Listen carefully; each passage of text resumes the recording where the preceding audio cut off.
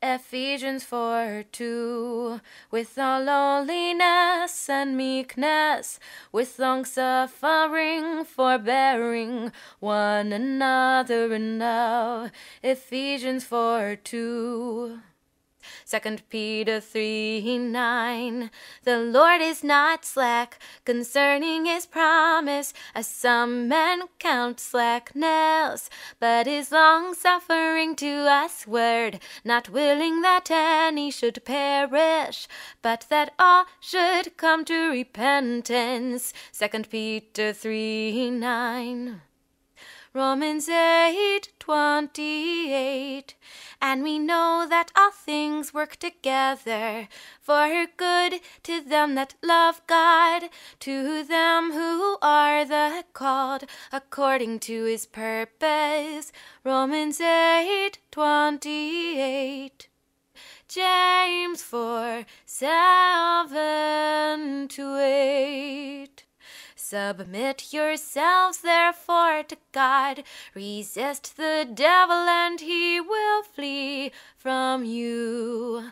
Draw nigh to God and he will draw nigh to you. Cleanse your hands, ye sinners, and purify your hearts, ye double minded. James 4 7 to 8. Ezekiel 18:20 The soul that sinneth it shall die. The son shall not bear the iniquity of the father neither shall the father bear the iniquity of the son. Ezekiel 18:20 Ezekiel 18:4 Behold, all souls are mine.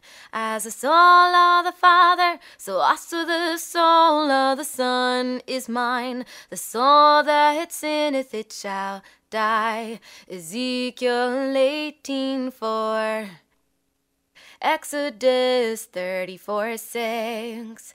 And the Lord passed by before him and proclaimed, The Lord, the Lord God, merciful and gracious, long suffering, and abundant in goodness and truth. Exodus 34 6. Romans 2 4. Or despisest thou the riches of his goodness, and forbearance, and long suffering, not knowing that the goodness of God leadeth thee to repentance? Romans 2 4. Ephesians 4 1 2 3.